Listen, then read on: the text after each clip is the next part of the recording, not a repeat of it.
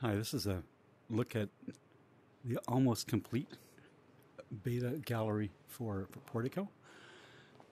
It's showing at the moment the uh, published artworks of the Yale Center for British Art.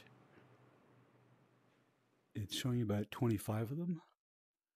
The uh, the performance of the headset is kind of the limit. For each artwork, we have the the published rendering of it, which are, are quite high definition, uh, beyond the ability of the headset to actually display. And then we have, you know, the uh, annotation information. This is all in IIIF format. As you can see, the gallery itself is a 3D model with empty spots on the wall, which can receive artwork. And the artwork is loaded uh, at runtime based on the collection that you've chosen.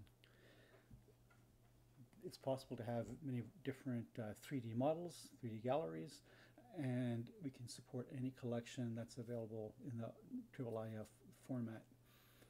The beta version will use this particular gallery, uh, and we're hoping to work with uh, museums to deploy their collections into this space. The, uh, the beta will take place uh, starting at the end of January, and we look forward to, uh, to your participation. There's no cost to be involved. There will be some effort to uh, synchronize your collections with, with Portico. All right, uh, this is John Ogilvie, and uh, thanks for your time.